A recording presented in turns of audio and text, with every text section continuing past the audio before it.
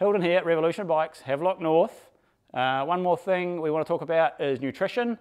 It is an off-road marathon. You will need to eat something and take something to keep your energy up. You could be there for uh, eight hours or more. Okay, guys, so uh, you want to take something light. You can take fruit and veg and all your sandwiches and all that cool stuff, but we do these little sachets. They're called energy gels. There's lots of brands. We've got a few here to look at. We've stocked up already. We'll get some more. Uh, if you've got a favorite brand, let us know and we can get some for you.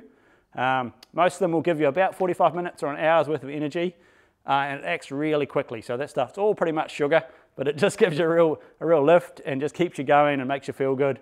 And it'll help you get through. Some have got caffeine, some don't, different flavors.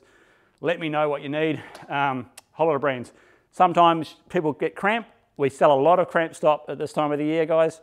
Uh, we've got little chewing lollies that'll help stop the cramp from Salt Stick. We've got the spray that you squirt under your tongue. That actually works, believe me.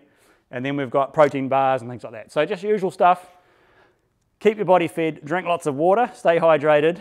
It is Hawke's Bay, it is summer. You'll need it. Okay, thanks guys.